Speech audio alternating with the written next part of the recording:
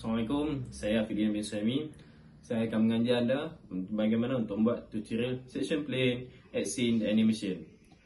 Saya, By the way, saya menggunakan SketchUp Pro 2020 So pada SketchUp yang lain mungkin agak berbeza dia punya feature dia Tapi jangan risau lah sebab infonya still sama. Maybe perbezaan ayat sedikit lah Tapi tak apa tetap ada juga info dia. Tanpa berlegar masa, mari kita teruskan. Check it out!